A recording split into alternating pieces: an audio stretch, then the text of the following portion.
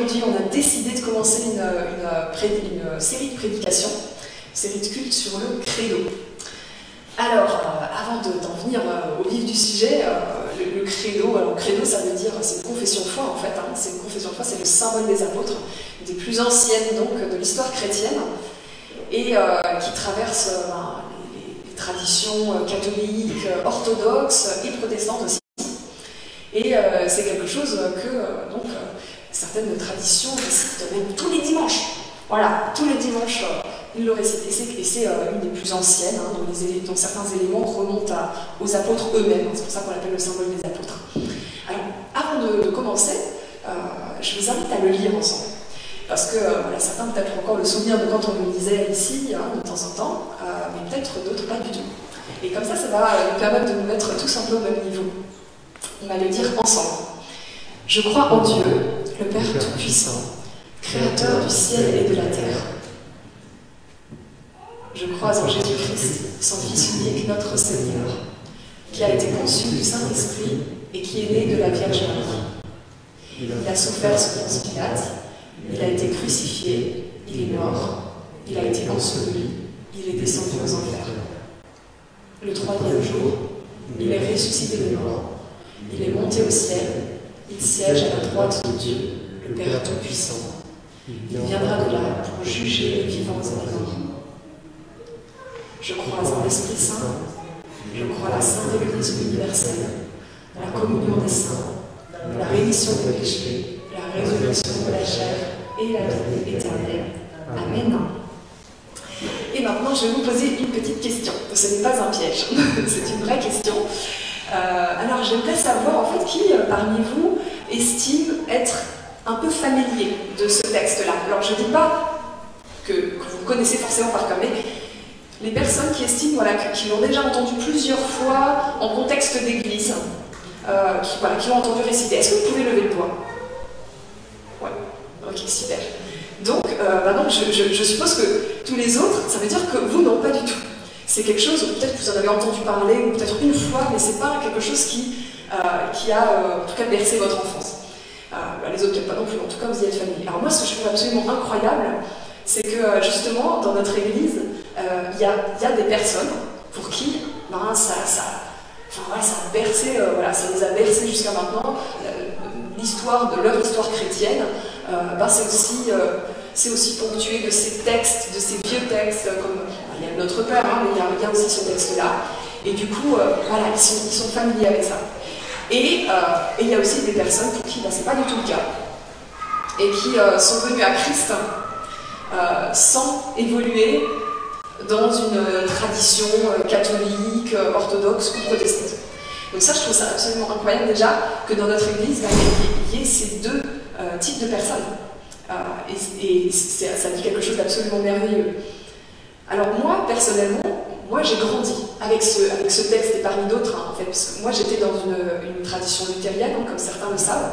Tradition luthérienne, en gros, bah, bah, c'est une tradition protestante euh, qui, euh, voilà, pour qui euh, voilà, on est les plus, directs héritiers du moine réformateur Luther, quoi, en gros. Et pour, pour cette tradition-là, il y a quelque chose qui est très important, c'est la liturgie. C'est pour ceux qui ne savent pas trop ce que c'est la liturgie, c'est une sorte de séquençage du culte dans laquelle ben, on, sait, exactement où on en est en fait. Et, euh, c'est tellement séquencé que le pasteur comme les, euh, les, paroissiens, comme les personnes qui sont là, savent exactement. Il y a, ils ont même un carnet. Ils ont, ben voilà, au début, ben, il y a l'invocation de l'Esprit Saint, ensuite il y a la prière de louange et le chant de louange, ensuite il y a la confession des péchés, ensuite il y a la proclamation de la grâce, ensuite il y a la confession de foi, ensuite il y a l'épiclèse, ensuite il y a la prédication, etc. Voilà, vous voyez Et c'est tellement séquencé, c'est tellement euh, régulier. Euh, tous les dimanches, on dit euh, le credo, tous les dimanches. Et c'est tellement régulier qu'en fait, si une fois le pasteur, pris d'un élan de folie, se dit Bon, ben là, je vais essayer de faire preuve d'un peu d'imagination et je vais enlever cette partie pour la remplacer par autre chose, t'as les yeux qui se lèvent du carnet, qui disent Mais qu'est-ce qu'il fait le pasteur là? Mais ça ne va pas du tout. Mais il a enlevé la confession de foi. Mais qu'est-ce qu'il a fait? Ça ne va pas. Et là, là, il peut y avoir du sang sur les murs. Hein. Donc, c'est. voilà. Donc, faites abstraction de, l'accent alsacien. Hein. voilà, l'essentiel est là.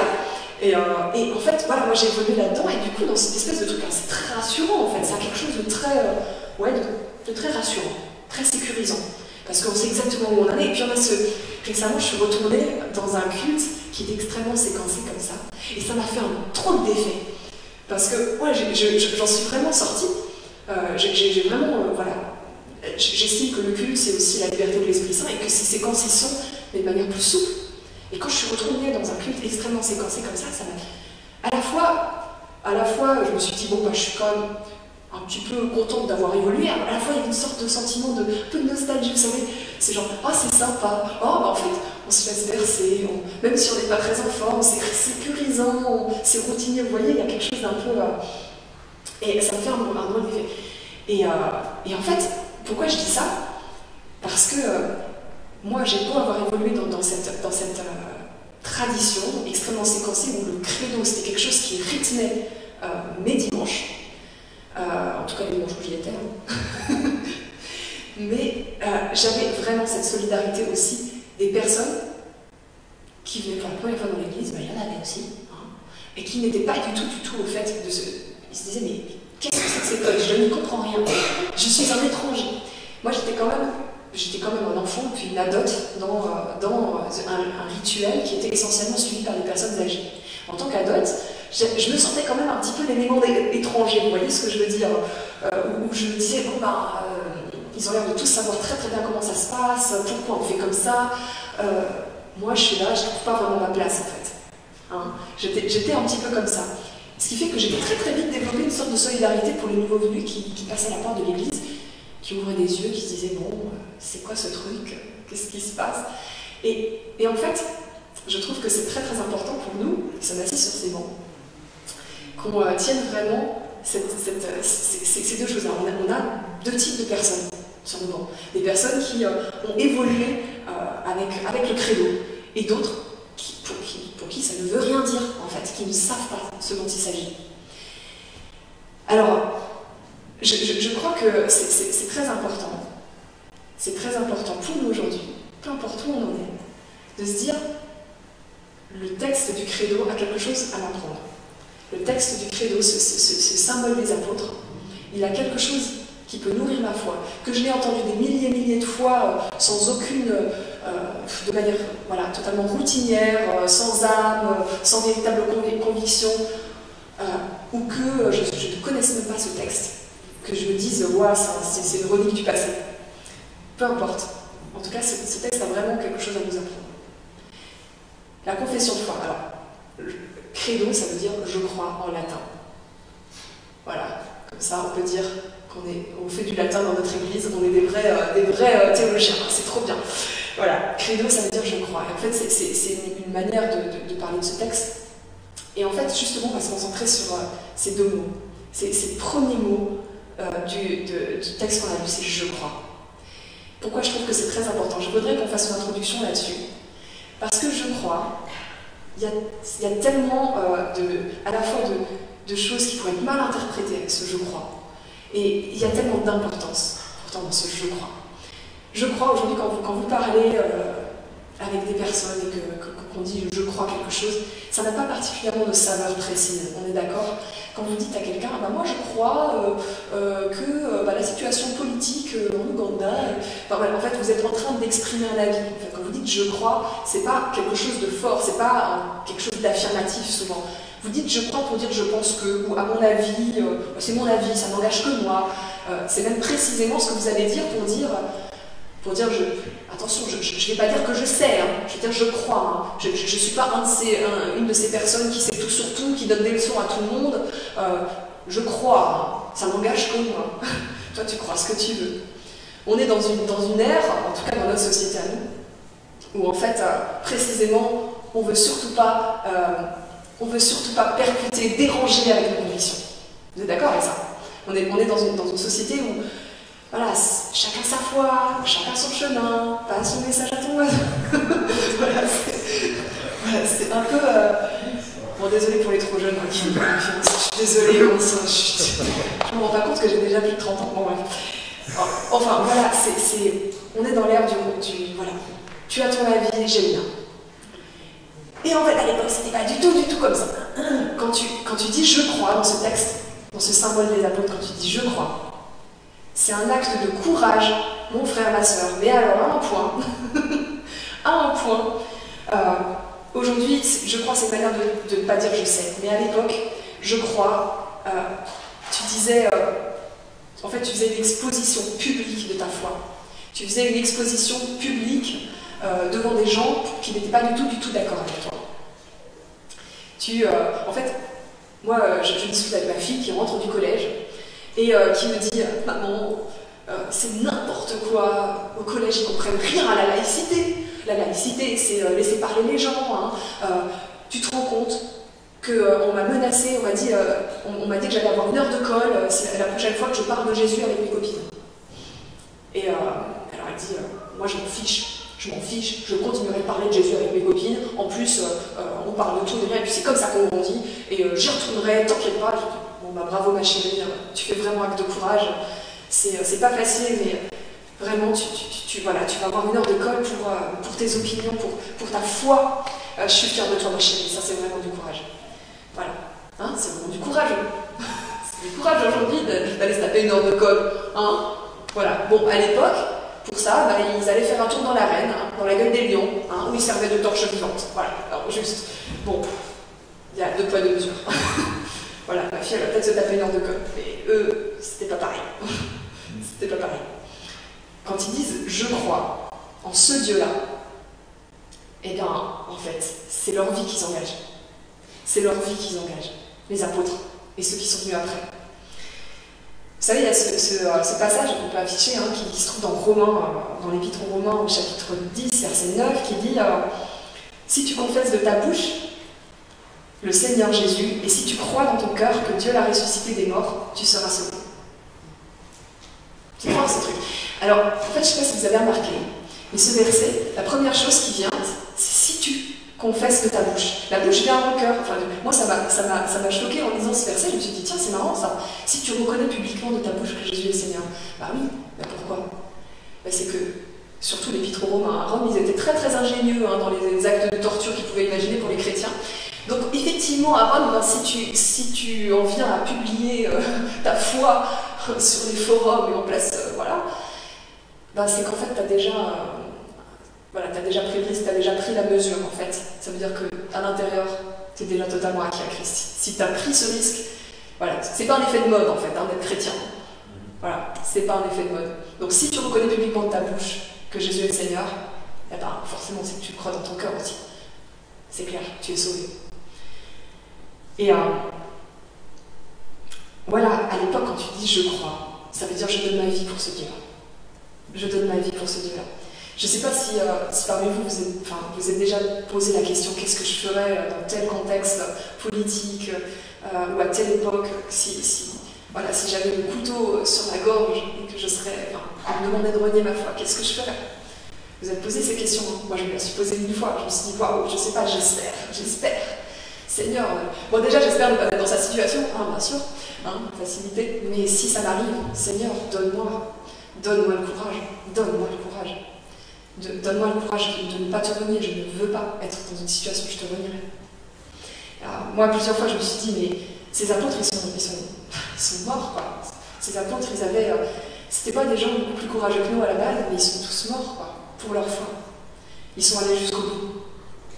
Et, euh, et quand, ils, voilà, quand, les éléments du credo sortent du cœur, de la bouche de ces apôtres-là et traversent les âges jusqu'à nous, ben on peut se dire, mais victoire Victoire à ce Dieu qui a, voilà, qui a, qui a, tenu ferme cette foi, la foi de ces gens-là et, et, la foi de tous ceux qui l'ont transmise jusqu'à nos oreilles. Vive ce Dieu, quoi.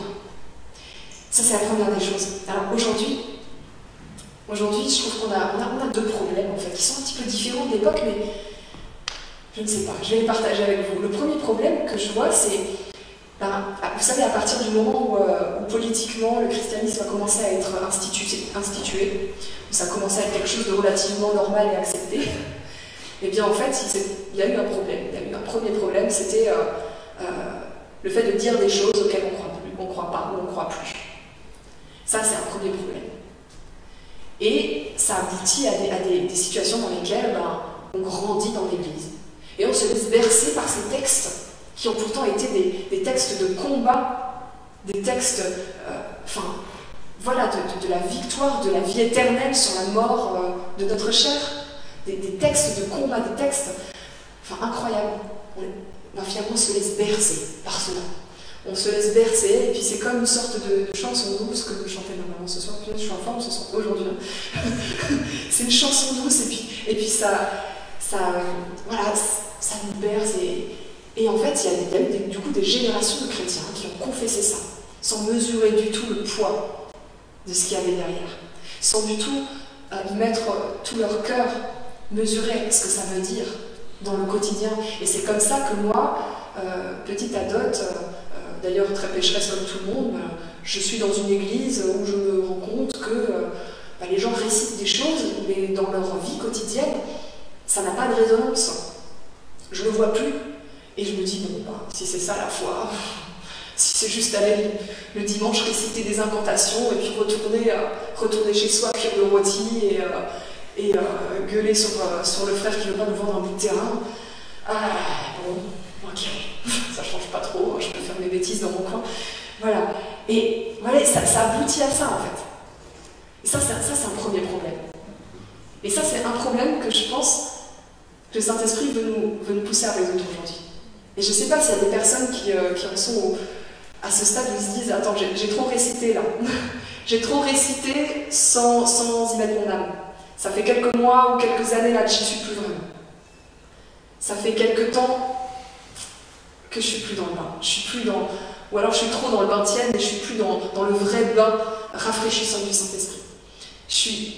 Voilà il y a besoin d'un coup de fouet, j'ai besoin de replier le genou devant mon Seigneur et de me dire ok, maintenant je crois, ça va être une expression de courage, ça va être un acte prophétique dans ma vie, ça va être le moment où je vais euh, ouvrir la bouche là où j'avais pas envie de l'ouvrir, ça va être le moment où je vais jeter mon ordinateur, celui qui me fait pécher, à la poubelle, ça va être le moment où je vais pardonner, ça va être le moment où je vais mettre ménage dans ma sexualité. Ça va être le moment. Ça, je pense que c'est un des problèmes que le Saint-Esprit veut qu'on résolve aujourd'hui. Il y a un autre problème, un autre problème qui est un petit peu toujours le même et qui est très très étrange, c'est qu'on a beau de plus avoir les lions, on a beau de plus avoir, en tout cas dans notre société, hein, parce que je sais qu'en ce moment, il y a des frères et des sœurs à l'autre bout du monde, ou pas seulement pas tellement à l'autre bout du monde, mais dans notre régime politique, qui eux sont réellement persécutés. Et dans notre société occidentale très très confortable, on n'a plus les lions, on n'a plus les menaces de torture, etc. Mais on a toujours peur. Ça, c'est notre problème. C'est que on a quand même peur. C'est que s'il y a une figure d'autorité, comme dans le collège de la fille, qui te dit tu n'as pas le droit de parler de ta foi, t'as beau savoir que dans le texte, il n'y a pas marqué ça, hein, dans le texte de la laïcité, c'est non, c'est pas ça mais tu te tais. Eh bien, tu dis, ok, bon, ben, j'attendrai d'être dehors. Et en fait, on forge des générations de soumis comme ça. Et, ça, c'est notre problème. On n'a plus les lions, mais on a une autre forme de, persécution douce et à laquelle on cède. Et ça, ça c'est triste quand même. C'est triste. Et moi, je me dis, punaise, mais le nombre de fois où, en fait, même moi, je me suis laissée aller à dire, non, mais dans son texte-là, on va faire un petit peu attention, euh, c'est pas la peine d'aller griller, euh, etc. Vous savez, je crois en l'intelligence du témoignage. Je crois en l'intelligence du témoignage. Mais je confesse que parfois, c'était pas juste de l'intelligence du témoignage, c'était juste que j'avais pas envie de. Voilà, c'était juste de la lâcheté. C'était juste que j'avais pas envie de perdre de l'énergie euh, mentale et émotionnelle à prêcher dans un endroit parce que j'avais juste envie d'être en vacances, ou d'être bien en famille, ou, etc., euh, etc. Il y a des moments, c'est de l'intelligence, il y a des moments, c'est de la lâcheté. Donc là aussi, je pense que c'est un autre, un autre problème que le Saint-Esprit veut nous pousser à résoudre ce matin. Je crois. Je crois, ça veut dire quoi? Ça veut dire que tu le dis. Ça veut dire que tu le dis et que, évidemment, tu, tu es en résonance avec ce que tu dis, dans, ta manière d'être, dans ta manière d'aimer, de, dans ta manière de, de, traiter avec les gens, etc. Il y a le fait de croire et il y a le fait de dire que tu crois. Et aujourd'hui, on s'est tellement, tellement souvent reposé sur le fait de, dire non, mais dans mon cœur, je sais à qui j'appartiens. Euh, j'ai pas besoin de le proclamer, j'ai pas besoin d'aller le dire, etc. Non, t'as pas besoin, mais les autres, ils ont besoin, hein. en fait, en vrai. Dieu, il a dit, les autres ont besoin d'entendre. Donc, euh, oui, t'as pas besoin, mais les autres, ouais. Les autres, ils, ont besoin d'avoir la vie éternelle. Et, et si tu es vraiment accroché à Dieu, tu sais que la vie éternelle, ah oui, on parle bien de ça, quoi. on parle de la vie et de la mort. On parle du paradis et de l'enfer. On parle de ces choses-là. C'est pas, euh, oui, c'est pas très à la mode. Aujourd'hui, ils aiment bien parler de réincarnation, ils n'aiment pas parler de paradis et d'enfer. C'est vachement plus logique, hein, n'est-ce pas La réincarnation, Bon. Mince, quoi. Non, on parle de vie et de mort. Et, si on est attaché à Dieu, eh ben, en fait, oui, on, voudrait. Moi, je veux pas. Je veux pas que les membres de ma famille, je veux pas que mes amis proches, ils aillent en enfer. Je veux pas. Alors oui, je vais mettre mon intelligence au service du témoignage, au service de Christ.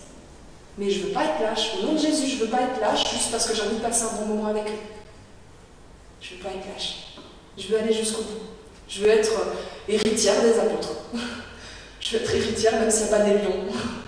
voilà, j'aurais fait, euh, fait ma tâche de chrétien et j'aurais mené, mené, le bon combat. C'est ça en fait. Et euh, je trouve que c'est important de se dire aujourd'hui, voilà, notre confession de foi, elle n'est pas que là pour structurer notre culte. Elle n'est pas que là pour structurer notre pensée de chrétien. Elle n'est pas que là, c'est là pour ça aussi. et on va le voir en fait au, fur et à mesure où on va cheminer dans cette confession de foi, c'est aussi une structuration qui est très importante parce que si tu veux parler aux autres, bah, il faut savoir de quoi tu parles aussi. Donc c'est important. Mais c'est pas que ça, c'est d'abord je crois. C'est d'abord je crois. Et donc ça veut dire je m'engage. Ça veut dire ben, je prends des risques. Ça veut dire je prends des risques quand je suis dans un système athée, ça veut dire je prends des risques quand je suis dans un autre système religieux, euh, ça veut dire je prends des risques, ben tiens, quand je suis dans, une, dans un régime routinier, chrétien routinier, euh, comme ça peut être le cas en Alsace, mais aussi au Congo, euh, tout le monde va à l'église, mais il y a quoi derrière en fait? C'est ça aussi, je crois. C'est avoir le courage de dire, mais attendez, moi je, finalement, le Seigneur m'a réveillé. Et moi, euh, vraiment, je, crois en ça. Aujourd'hui, nous, on est dans une église qui est, euh, qui est de tradition réformée, de tradition protestante, et pourtant, on veut vivre un réveil. On veut, on veut vivre euh, l'ici et le maintenant du Saint-Esprit. On veut vivre le renouveau de ce qu'il a à nous offrir. On veut, on veut partir en mission. Moi, j'y crois. Et je crois que aussi bien on est enraciné dans, une super histoire de laquelle on peut être super fier, autant eh ben, on peut avoir des ailes. On peut avoir des ailes pour, euh, pour aller à fond dans prêcher dans cette société qui en a tant besoin, avec ses défis particuliers. Moi, la confession de foi, c'est je crois d'abord. Et je crois, c'est. Enfin, j'aimerais conclure, avec ça. C'est s'en remettre à la toute-puissance de Dieu. Quand on dit je crois, en fait, on n'est pas en train de dire je. Vous savez, je le disais avant. On dit je crois pour pas dire je sais. Maintenant, je vais le dire de manière positive. Dieu sait. Moi, je sais pas. Moi, je sais pas, à la base. Moi, je suis un être humain pécheur. Depuis qu'il y a la chute dans ce monde, je ne sais pas grand-chose. Et même avant, je ne savais pas. Mais, mais je ne sais pas, mais Dieu sait. Et ce que je sais, c'est que Dieu s'est révélé à moi. Et Dieu s'est révélé à moi pour me dire, voici comment je suis. Je suis un Père.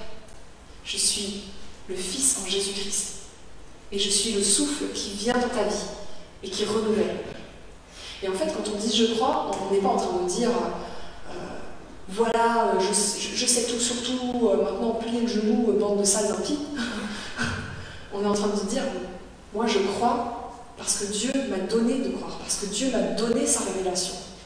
Mais Dieu donne sa révélation à, qui la demande. Moi, je crois, c'est ma part du job en fait. C'est ma part qui dit, ben, je suis homme et je reçois ce que Dieu me donne. Et en même temps, c'est dire, c'est lui le Tout-Puissant. C'est lui l'omniscient, c'est lui. Le Tout-Puissant, c'est lui. Celui qui peut changer les choses, c'est lui. C'est pas moi. Donc en fait, c'est une confession d'humilité aussi. C'est une confession d'humilité dans ce monde. Mais c'est une intransigeance. C'est, évidemment, il n'y a pas d'autre Dieu qui peut sauver. Évidemment, il n'y en a pas d'autre. Euh, non, je, ne crois pas que chacun fait sa sauce et ira au paradis euh, en montant euh, de tous les côtés de la montagne, on arrivera tous dans le même chemin. En fait, en fait, c'est pas pour ça que les apôtres sont morts. C'est pas pour ça que Christ est mort. Christ est mort pour que tu dises Je te crois. Je te crois toi. Je ne crois pas à un. Je te crois toi et, j'irai au bout. Parce qu'il est le seul Dieu qui a fait ça. Il est le seul Dieu qui, du haut de sa toute-puissance, du haut de son omniscience, a décidé de se révéler à nous et a décidé de se donner jusqu'à la mort. Il est le seul. Il n'y en a pas d'autre. Bouddha, il n'a pas fait ça. Mohamed, il n'a pas fait ça. Ils n'ont pas fait ça, les autres. Lui, il a fait ça. Il a fait des miracles, il a montré sa toute-puissance, et il est mort sur mon croix, que j'aie la vie.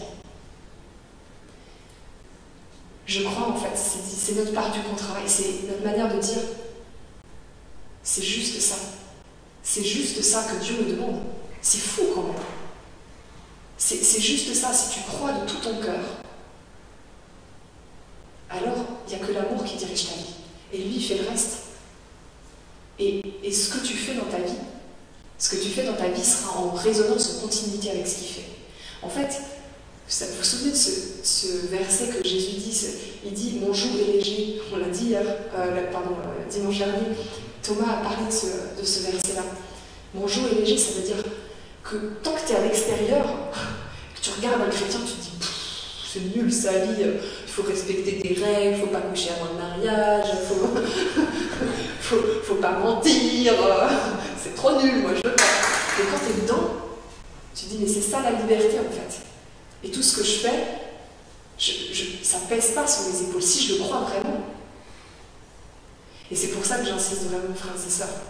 S'il y a aujourd'hui quelque chose qui vous semble lourd, quelque chose qui, que vous demande Dieu et qui vous semble impossible à faire, c'est que le Saint-Esprit vous demande de plier le genou. C'est que c'est un de ces problèmes que nous avons énoncé tout à l'heure et qui est à résoudre. C'est de dire, en fait, j'ai peut-être trop récité et j'ai peut-être pas assez intériorisé. En fait, voilà, moi je, voudrais vraiment juste qu'on reste avec cette image de notre Dieu Tout-Puissant qui nous demande de remplir notre part du contrat. Juste une dernière image, et puis on a prié.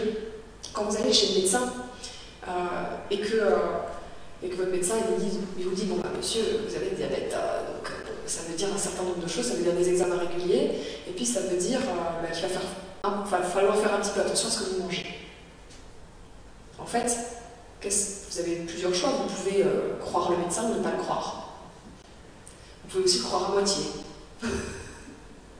en fait eh ben, c'est exactement ce qui se passe. Mon père est médecin, il m'a souvent parlé de ça en fait. Il m'a dit, mais c'est incroyable. Je leur dis en fait, mais là, ça va pas aller. Il faut absolument que tu arrêtes de manger ces cochonneries. Il faut que tu arrêtes. Ça, tu, vas en, avoir les effets euh, pervers dans ta vie. Et puis les gens, en fait, il y, a ceux qui ne croient pas, ils repartent. Voilà, ils ne croient pas. Non, mais ils s'est trompé. Il y a ceux aussi qui croient à moitié, disent Non, mais il a raison, mais on ne sait pas, il y a peut-être un autre effet de magie qui va opérer dans ma vie, qui va faire que ben, ce, bout de beurre que j'ai pris, voilà, et puis de, ce kouign que j'ai mangé, va pas, il ne va pas se voir, il va disparaître. il va disparaître de mon sang. Il n'y a pas de problème. Vous savez, je, je, le crois à moitié, je crois en lui, mais en une autre magie aussi qui opère. Je ne sais pas trop la nommer. Mais, en fait, c'est tellement souvent comme ça dans notre, foi, dans notre vie chrétienne. C'est pour ça que je disais notre problème. Parfois, on récite des trucs, on va à l'église et on croit à moitié, en fait. Et il y a des choses qu'on n'y croit pas vraiment parce que et d'ailleurs, on, arrive, du coup, vu qu'on n'y croit pas, on n'arrive pas à les opérer dans notre vie, on n'arrive pas à, faire ce qu'il faut et à, marcher dans le sens dans lequel Dieu nous invite à marcher. Donc voilà, ça c'est vraiment, vraiment la dernière, des choses que je voulais partager avec vous. Je crois, c'est s'en mettre à la toute-puissance de Dieu, c'est croire bah, que ce qu'il dit, c'est vrai. C'est dire, du coup, je, fais ma part du job, je fais ma part du job, j'adhère Seigneur. J'adhère et je mets dans ma vie en marche le moteur qui va me permettre d'être cohérent avec ma foi. Alors, frères et sœurs, je vous invite à prier.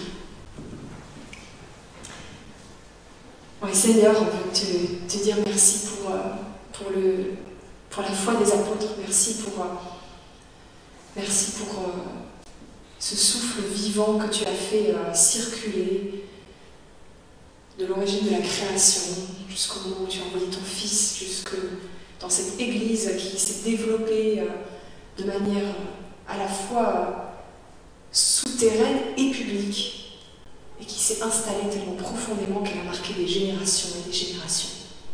Je te remercie pour ce souffle et je te remercie aussi pour euh, le souffle de ceux qui nous ont transmis la foi, à nous qui sommes ici, à ceux qui nous, regardent aussi. Je te remercie pour le souffle que tu as mis en eux et qui, leur a, qui les a poussés à nous parler de toi et à témoigner de toi dans leur vie. Et Seigneur, je te prie que tu viennes renouveler ton souffle en nous que nous venions résoudre les problèmes, les problèmes euh, que nous avons à, te croire entièrement, les problèmes que nous avons à, vivre de la même foi et du même courage que les apôtres. Je te prie euh, que tu viennes résoudre ces problèmes et nous donner la force de mettre en place dans notre vie euh, des actes prophétiques qui montrent que nous ne voulons pas nous laisser aller réciter, à laisser couler les mots, les chants, les louanges sur un manteau d'indifférence. Et Seigneur, je te prie que tu viennes nous redresser et que tu viennes nous envoyer pour que nous soyons courageux à l'intérieur et à l'extérieur. Au nom puissant de Jésus-Christ. Amen.